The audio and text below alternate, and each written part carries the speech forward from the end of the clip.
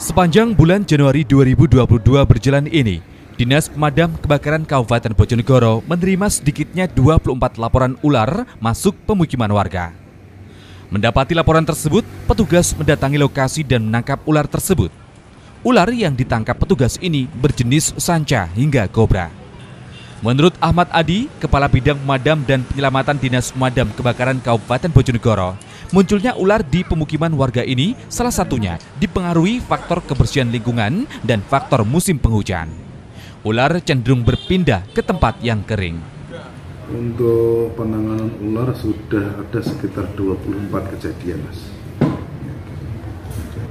Rata-rata banyaknya eh, kemunculan ular di Bojonegoro ini disebabkan oleh faktor apa, Pak? Uh, kebersihan lingkungan, Mas. Kebersihan lingkungan. Di mana ular itu kan mangsanya ular tikus. Kalau sekitar rumah itu kotor, mengundang tikus. Nah, dengan adanya tikus di sekitar rumah, ular akan datang.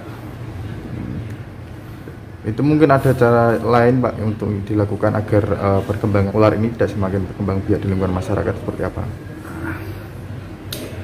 Nah, sebenarnya gini, kalau untuk uh, biar ular nggak datang ke sekitar perumahan jaga kebersihan lingkungan pertama yang kedua uh, apa dikasih bau-bauan yang menyengat kayak kabar barus dan sebagainya itu itu juga bisa mengusir kedatangan ular.